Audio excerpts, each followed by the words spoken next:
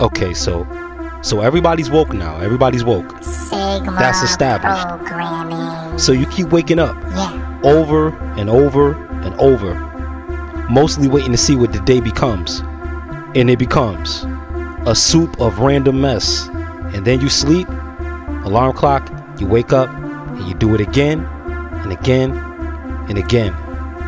People are entering and exiting life stage. People are growing up, right? They're growing older, raising children, becoming grandparents. While you sleep, hit the alarm clock, wake up, and do it over and over and over again. Now, what if there was a way to experience a different reality each time you wake up? What if there was a way to decide what that reality becomes every time you sleep? Well, there is. And the answer to, to both of these questions is singular and simple. You ready for the answer? Here it is. Don't chase your dreams, live your dreams.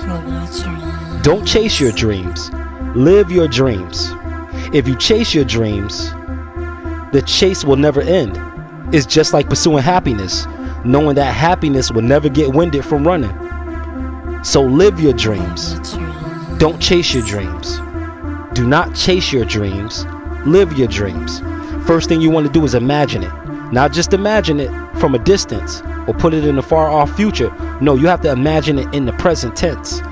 Make the future now. Imagine your dreams happening right now. Now, couple this imagination with a change in behavior. Behavior. There's two words in the word behave be and have. So you have to be what it is that you want to have. That is behavior. Don't ask for it. Because asking for it puts you in the position of asking for it. But instead, possess it. Because possessing it puts you in the position of possessing it. We make the mistake of waiting for things to change before we change. We say to ourselves, you know what, once the money comes in, then I'll manage the money. Now, anyone living from paycheck to paycheck will tell you that at that point it's too late. Too late. You have to manage the money before it touches your hands, or at the very least, as soon as it touches your hands. So imagine what you want as if you have it already. Have it now. What do you hear now that you've made it? What do you see, smell, feel, touch, and taste now that you've made it? And lastly, can you remind yourself over and over and over again to stay in the movie, to stay in the huddle, to stay in character, to hold frame? How much film do you have rolling through your film projector? Do you have enough film? Do you have enough footage?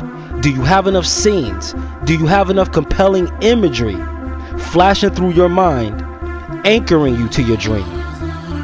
As your reality around you bends and contours itself to your imaging, are you willing to continue to imagine? So don't look for something to happen until you make something happen, until you imagine something happening. But you have to keep the movie playing for each time you went to sleep, hit the alarm clock, woke up, and did it all over again on autopilot. For each time that you slept and woke up on autopilot, for each time that you allowed the day to determine what it was going to be rather than you determining what the day is going to be, for each time, you got to have that movie rolling. You have to remind yourself that you're not just on the road.